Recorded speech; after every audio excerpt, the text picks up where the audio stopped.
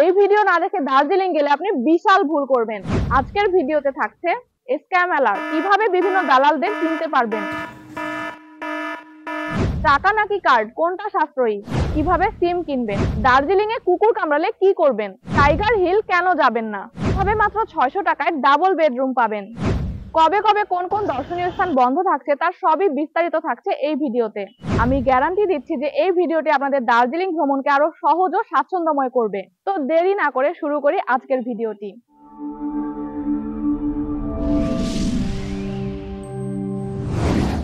টাকা নাকি কার্ড কোনটা সাশ্রয়ী? দিন বাংলা টাকার তুলনায় ইন্ডিয়ান কারেন্সির মান বেড়েই যাচ্ছে। তাই সাশ্রয় করার প্রথম উপায় রুপিতে লাভ করা। বর্ডার ক্রস করে ভারতীয় সাইডে ইমিগ্রেশনের পাশে অনেক মানি এক্সচেঞ্জের দোকান পাবেন। তাদের দুই একটা দোকানের সাথে কথা বলে দরদাম করে টাকা থেকে রুপি করে নিন। আর সাথে একটা কার্ড রাখতে পারেন। বাংলাদেশের ইসলামী ব্যাংকের ডুয়াল কারেন্সি গোল্ড ডেবিট কার্ডটি অনেক ভালো। এই ব্যাংকে অ্যাকাউন্ট করা থাকলে দ্রুত আবেদন করে ফেলুন। পনেরো দিনের মধ্যে এই কার্ডটি হাতে পাবেন। তবে অ্যাকাউন্ট না থাকলেও সমস্যা নেই। আপনার নিকটস্থ একটি ইসলামী ব্যাংকে পাসপোর্ট ও এনআইডি জমা দিলেই আপনি এটি পেয়ে যাবেন। এগুলো দিয়ে সাধারণত আপনারা দেশে এবং দেশের বাইরে কেনাকাটা করতে পারবেন। এছাড়াও আপনারা চাইলে ইস্টার্ন ব্যাংক থেকে অ্যাকুয়া প্রিপেড কার্ডটিও করে নিতে পারেন। তবে ইন্ডিয়াতে গিয়ে চেষ্টা করবেন এটিএম থেকে টাকা না তোলার, কারণ ইন্ডিয়ার সকল এটিএম এ ক্ষেত্র বিশেষে চারশো থেকে ছশো টাকা এক্সট্রা চার্জ কাটতে পারে। তবে যেখানে কার্ডে পেমেন্টের সুবিধা আছে, সেখানে আপনারা কার্ড দিয়েও পে করতে পারেন। যেমন বিভিন্ন রেস্টুরেন্ট হোটেল এবং সুপার শপ তাহলে অনেক টাকা সাশ্রয় করতে পারবেন। স্ক্যাম অ্যালার্ট ইমিগ্রেশন ক্রসিং এর দালাল। অর্ডার ব্যবস্থা এখন অনেক খারাপ। দালাল যেন এদের রঞ্জে রঞ্জে ঢুকে গিয়েছে।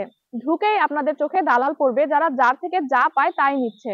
আর যদি ইমিগ্রেশনের কাজে দালালদেরকে টাকা না দিয়ে করতে চান, তাহলে কি হবে জানেন? দুই দিকেই কাস্টমস আপনার লাগেজ নিয়ে টানাটানি শুরু করবে। তখন মনে হবে দালালদেরকে মাত্র একশো টাকা তো দিতেই পারতাম। সাথে লাগেজে কি কি নিয়ে এসেছেন এবং কত ক্যাশ ক্যারি করছেন, ইত্যাদি ইত্যাদি। অর্থাৎ তাদের রুল বুকটি আপনাদের উপরে ঝালিয়ে নেবে। আর যদি দালাল ধরেন, তাহলে এই রুল বুকটি তাদের ডিরেক্টরি থেকেই মুছে যাবে। আমার লাইনে যারা ছিল, তাদের মধ্যে এমন এক ব্যক্তি ছিল যিনি ডাক্তার দেখাতে গিয়েছিলেন, তার সাথে তিরিশ হাজার টাকা ছিল। দালাল না ধরার কারণে এজন্য তাকে পাঁচ হাজার টাকা জরিমানা দিতে হয়। ক্যামেলার ট্যুর এজেন্সির দালাল।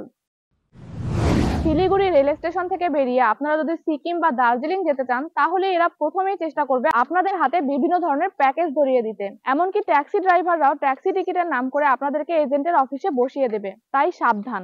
দার্জিলিং বা সিকিম যেতে হলে সরাসরি চলে যান এসএনটি বাস স্ট্যান্ডে, যা শিলিগুড়ি জাংশন ও শিলিগুড়ি পাবলিক বাস স্ট্যান্ডের পাশেই রয়েছে। এখানে রাস্তার বামে, ডানে এবং উভয় দিক থেকেই সিকিম ও দার্জিলিংগামী জিপ যায়। কুকুরে কামড়ালে কি করবেন? আরেকটি সম্ভাব্য সমস্যা হতে পারে কুকুরের কামড়। শহরের ভেতরে কুকুর কামড়ানোর চান্স অনেক কম। কিন্তু যদি দুর্ভাগ্যবশত কুকুর কামড়ে দেয় বা হাতড়ে দেয়, তাহলে কি করবেন? তাহলে ভয় নেই। শুরুতে একদমই প্যানিক হওয়া যাবে না। দার্জিলিং এর কুকুরগুলো সাধারণত রেভিসের ভ্যাকসিন দেওয়া আছে। কিন্তু তারপরও আপনাদের ক্ষত স্থানে যত দ্রুত সম্ভব সাবান পানি দিয়ে ভালো করে ধুয়ে নেবেন। এরপর চলে যাবেন দার্জিলিং এর সরকারি হাসপাতালের ইমার্জেন্সি সেকশনে হাসপাতালটি শহর থেকে একদম নিচে। ট্যাক্সি স্ট্যান্ড পার হয়ে চকবাজার রোড ধরে আবার কিছুটা উপরে উঠতে হবে। প্রথমেই পড়বে দার্জিলিং পুলিশ স্টেশন, তারপর আরেকটু উপরে উঠলেই হাসপাতালটি দেখতে পাবেন। হাসপাতালের কর্মীরা খুবই আন্তরিক। এরপর আপনি ইন্ডিয়ার যে কোনো হাসপাতাল থেকে বাকি ডোজগুলো নিতে পারবেন। কিন্তু যদি আপনারা সপ্তাহ খানেকের মধ্যে ইন্ডিয়া ত্যাগ করেন, তাহলে দেশে ফিরেও আপনাদেরকে শুরু থেকেই সব ডোজ নিতে হবে। ঝর্ণার পানি ব্যবহার থেকে সাবধান। কিছু কিছু বাজেট ফ্রেন্ডলি হোটেল তাদের বাথরুমে ব্যবহারের জন্য অপরিশোধিত ঝর্ণার পানি ব্যবহার করে। অনেক সময় এর মাধ্যমে অ্যালার্জি এবং বিভিন্ন ধরনের ব্যাকটেরিয়া সংক্রমণ হতে পারে। তাই শুরু থেকে আপনারা বাথরুমে বিভিন্ন অ্যালকোহল স্প্রে বা স্যানিটাইজার স্প্রে করতে পারেন।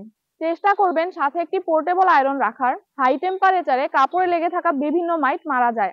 বিশেষ করে হোটেল সোনালি অ্যাভয়েড করুন। কারণ এদের সার্ভিস অনেক বাজে পেয়েছিলাম।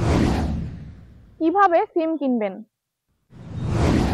আপনি ইন্ডিয়া ঢুকে যে কোনো স্থান থেকে পাসপোর্ট দেখিয়ে এয়ারটেল বা ভোডাফোনের সিম কিনতে পারেন। এয়ারটেল সিম কিনলে তারা দুইশো টাকায় আঠাইশ দিনের একটি প্যাকেজ চালু করে দিবে, যেটা দিয়ে আপনারা আনলিমিটেড ইন্ডিয়ান কল এবং এক জিবি করে প্রতিদিন ডেটা ইউজ করতে পারবেন। এর জন্য মোট খরচ পড়বে পাঁচশো রুপি। এছাড়াও আপনার কাছে যদি যে কোনো অ্যাক্টিভ ডুয়েল কারেন্সি কার্ড থাকে, তাহলে মাত্র এক ডলার দিয়ে গ্রামীণ ফোনের রোমিং সেবা অন করে নিতে পারেন। এতে আপনারা ইন্ডিয়াতে বসে আপনার ফোনের কল রিসিভ করতে বা কল দিতে পারবেন। তবে এটা একটু ব্যয়বহুল। আরও কিছু ছোট ছোট টিপস দিয়ে রাখছি। পাহাড়ি এলাকা হওয়ার কারণে এখানে কোনো রিক্সা বা ছোট যানবাহন পাবেন না। তাই হাঁটার অনেক এনার্জি ধরে রাখতে হবে। আর জিনিস কেনার সময় অবশ্যই দামাদামি করে নেবেন। আশা করি আজকের ভিডিওতে আপনাদেরকে অনেক তথ্য দিতে পেরেছি। পরের পর্বে থাকছে, কেন টাইগার হিলস যাবেন না? মুসলিম ফুড কোথায় পাবেন? সব থেকে কম খরচে দার্জিলিং এর হোটেল বুকিং টিপ। সুপার সাশ্রয়ী একটি ট্যুর প্ল্যান। ভিডিওটি ভালো লাগলে একটি লাইক দিতে ভুলবেন না। আরও কিছু জানার থাকলে কমেন্ট করুন। আজকে এ পর্যন্তই। আমি তানজিয়া আপনাদের থেকে বিদায় নিচ্ছি।